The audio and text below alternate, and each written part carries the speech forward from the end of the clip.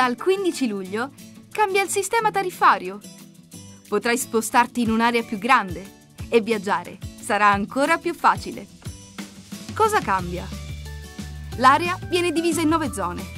Il costo del nuovo biglietto varia in base al numero delle zone che attraversi.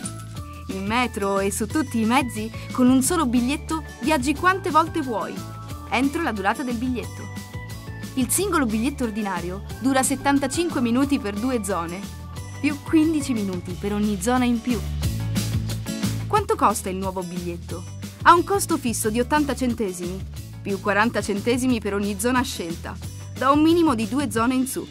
Il biglietto di Milano comprende tre zone e i 21 comuni vicini.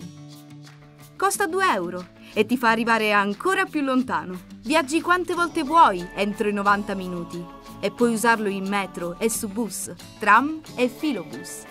Se vuoi viaggiare tra Mi 1 e Mi 3, l'abbonamento annuale costa 460 euro, quello mensile 50 euro.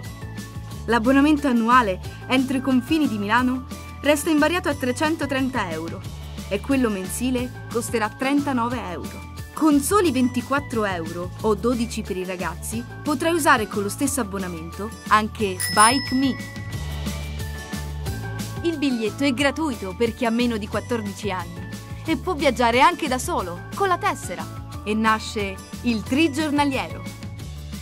Come adeguarsi?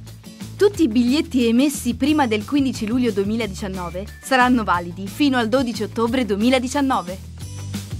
Chi ha già un abbonamento può continuare a usarlo fino alla fine della validità. Scopri tutte le info e le agevolazioni del Comune di Milano sul sito www.atm.it.